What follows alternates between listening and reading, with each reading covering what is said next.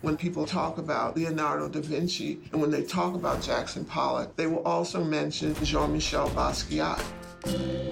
When I first met him, just a few months short of 16, he was living on the street, staying with God knows who.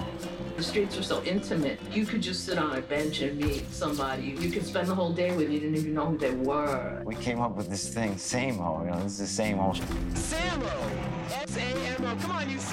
Walls. This gentleman right here is Samo. Samo was part of a conversation happening in New York.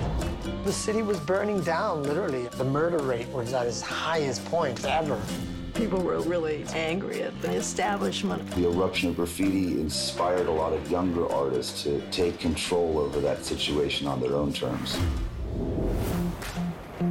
What Basquiat understood was the nature of public space. His work was a texture of the city around it.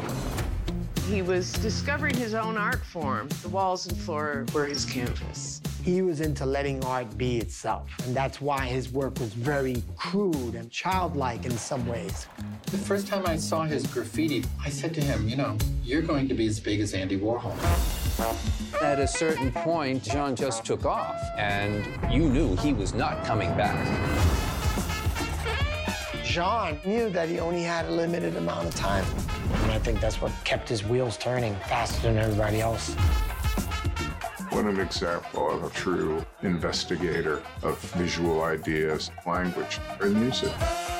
Jean Michel, with his work, had an effect on everybody that saw it. Música